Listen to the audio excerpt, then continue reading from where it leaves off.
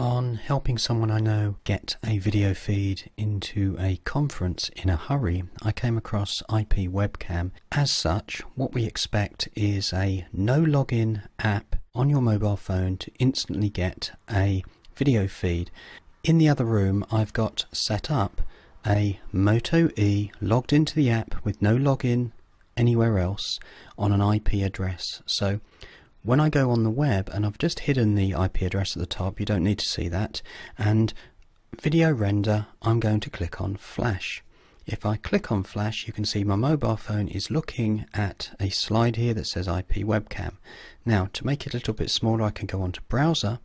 I can also have a number of things like grabbing the audio if I wish to I can click on HTML5 wave and then I've got the audio for this purpose I don't need it so to go along brilliant thing is I've got a ton of controls here. So if I wanted to zoom in, just click it, and I have remote access over that camera. Then just making sure we can go back out again, and then we can also click change cameras. The moment I click change, you can see that the camera is now facing onto the green screen. What I can do as well, let me just change it, because I don't want this tutorial to be very long at all, is I've started to look record, if I want to record, look manually I click, I start recording and then I can stop again. The moment I go to the top and say video archive you can see there is a video which has just been recorded.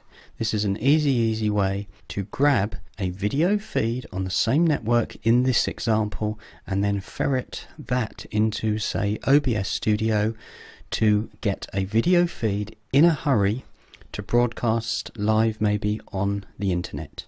There you go.